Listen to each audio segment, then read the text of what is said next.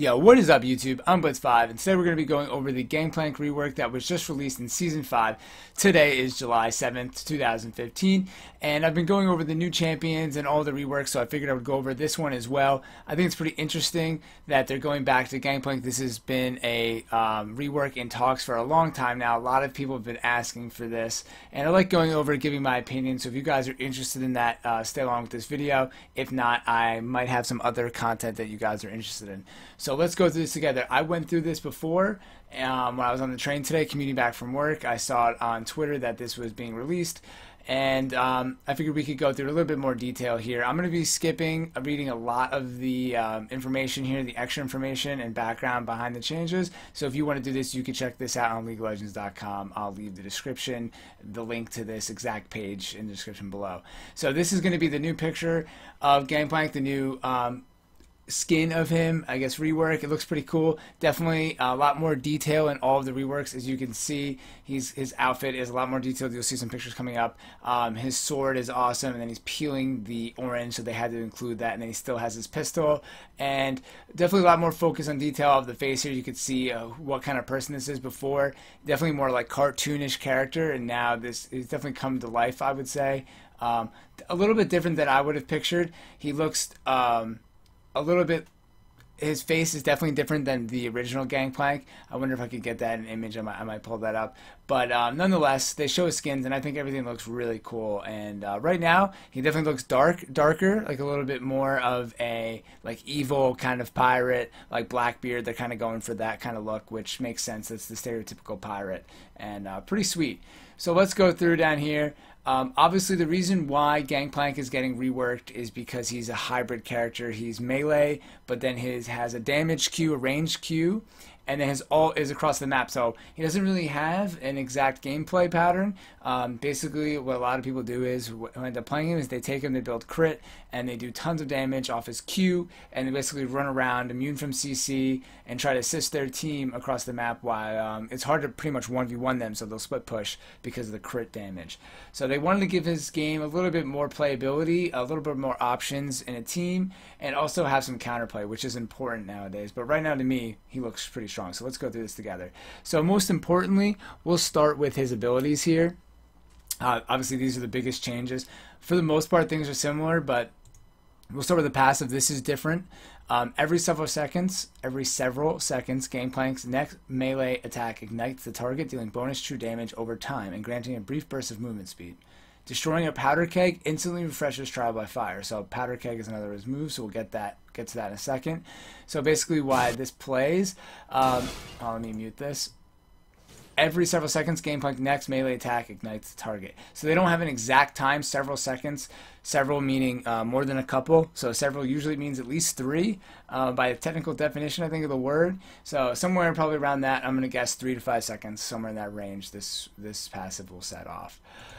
So let me just move the volume down on this. I don't want it to interrupt the video.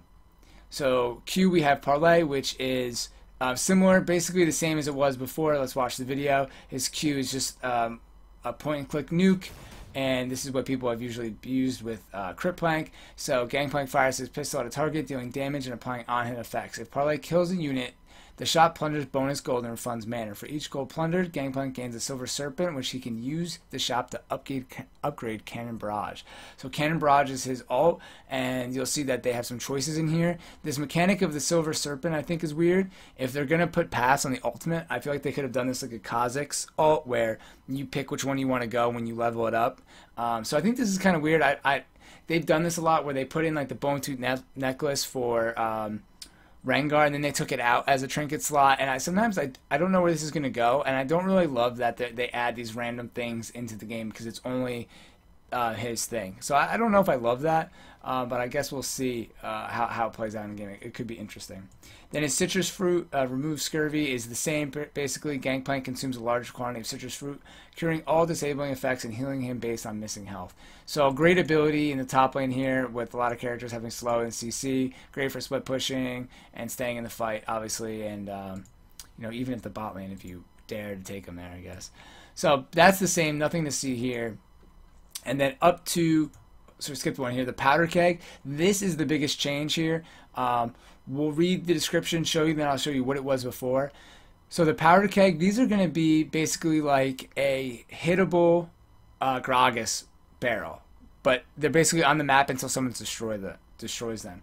So this is um, places a powder keg that can be attacked by Gangplank or as enemies. If Gangplank destroys a keg, it explodes in an AoE blast that slows and spreads the damage of the attack to all nearby enemies.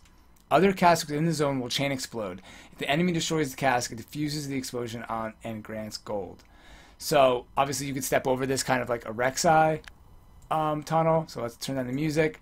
You're going to see he casts this keg here. I don't know if the health automatically is that low. Um, and then he can shoot the one closest to him and it chains, chains pretty uh, decent distance there and hits TF as he's running by. So obviously if Gangplank wasn't there, TF could run over um, the barrel and get gold from it. But the issue I see with this, or I guess what they want is some play, is that you could put like three of these in a bush and hide in the bush, and if someone comes in the bush, you could attack it and just pretty much blow somebody up. Attack the barrel, then parlay them, and you're going to be doing tons of damage just with brilliant crit. I could already see that happening now as a controlling move. But in lane, I see this being less versatile if you're playing against another ranged champion because they'll be able to just kill it. Against melee champions, I think this will be useful. Um, so basically, to me, they're kind of making him really overpowered versus uh, melee champions in lane again. I know his passive um, stacks off melee attacks, so they're giving you some incentive to move forward. But I feel like if you kind of disregard that passive and you stay away and use your powder keg and parlay, it's going to be kind of the same. So we'll see how it plays out. But to me, this seems like this could be manipulated in weird ways, depending on how much damage it's actually dealing. So onto the alt. Um, pretty much the same here. Cannon Barrage signals Gangplank ship to fire waves of cannonballs at an area. Each wave deals magic damage and slows enemies. Cannon barrage can be upgraded up to three times. So you guys probably know if you play League of Legends what this looks like. Uh, usually this is across a map, um, almost I think global skill shot here. Um, I don't play Gangplank, so I forget if it's actually global. But um, a great move that a lot of people like using. And then now you'll be able to upgrade it to, to one of these three options. So we have Death's Daughter, which fires an initial mega, mega cannonball in the center of the area effect. Uh, raise morale gives allies within the area additional move speed, and fire at will increases the rate of fire over the duration of cannon barrage. So basically, you have one that's going to be doing more damage, Death's Daughter, raise morale, which is more of like a support alt, and fire at will, which just increases the rate of duration, uh, fire over the duration, so it just happens faster. So you know sometimes it's hard to probably move if, if you're playing with a, a quick team, team wow team comp almost flipped the words there if you're playing against like maybe a Sivir uh, someone who has an ultimate like that that can move away or you know Sivir with the ancient coin or someone with the righteous glory that's going to use it to that's moving pretty quickly uh, fire at will might make that a little bit more efficient to uh, hit the enemy team so they can't dodge it so before we move on, um, well, I guess let me just stick with the alt. So I think this is pretty much the same. I like that there's some options here because his kit doesn't involve. It was pretty boring before. You were just queuing and then alting, and this gives you a lot more options, and you can kind of decide how you want to play. Do you want to be melee? Um, they're really still, or, or do you want to be distance? Do you want to be more support? Do you want to be tank? To me, they're still leaving his role very much up in the open, which I think is fine. A lot of characters are like that. But to me, the rework didn't really define Gangplank as one typical character. It just gave you options to play one successfully, which really he only had one very successful option right now. Um, obviously, you could you could always build him differently, but his most successful option was the crit plank. So going back to the powder keg, so this was his E now. That's his E now. So I brought up the Gangplank Wikipedia, the Wikia, and it previously was Gangplank's attack damage and movement speed are increased and, as a passive, but then when he used the active, it disabled his passive and it gave him additional damage and movement speed for 7 seconds that also buffed uh, allied champions within range. So this was more of, um, I, you know, a lot of beginner players, especially me, I don't love abilities like this because other people don't know that they're active unless you're communicating over Skype or they, they, they're familiar with the champion. So a lot of like hidden passives here aren't noticeable. So it looks like, you know, giving the powder keg removes that hidden passive and it's just another playable move here. So now he has a lot of play between his Q and his E, which was necessary because before it was just a lot of queuing. Um, so right here they talk about in lane, um, how he's going to be playing, like I was saying, with the barrels. It's going to be important to set them up. Um, you are going to need to go in for the melee attack passive, so you want to stack melees to do damage. So basically what you would do is melee, um, it, fucking, uh, proc the, the ignite and then parlay them and do a lot of damage and then back off, and that's how you win a lot of trades. Obviously, um, with the cooldowns here, you know, it, you could be countered by someone going back all in on you after you trade, or if your trade isn't that successful. But obviously, playing a lot of melee champions in the top lane, um, it is successful for Gangplank to trade like this, um, especially if he's got some movement speed, um, runes, and, or masteries, or you know, early boots. Maybe he can go in, get the melees off, and then parlay as he's leaving. Um, who knows with this kind of ability you could be you could see him play in other positions maybe uh, mid sometimes you see gangplank mid now but not that much but this could move him into the mid range especially with the barrels um, you know a lot of times uh, it could change the dynamic of top lane when a lot of people play these fighter champions or range champions in the top lane like Ryze. It, it changes the top dynamic from more of a tank meta to a fighter meta. I don't think one character has the power to do that, but sometimes you see these changes kind of move in that direction, especially after right now in season five, the tank meta.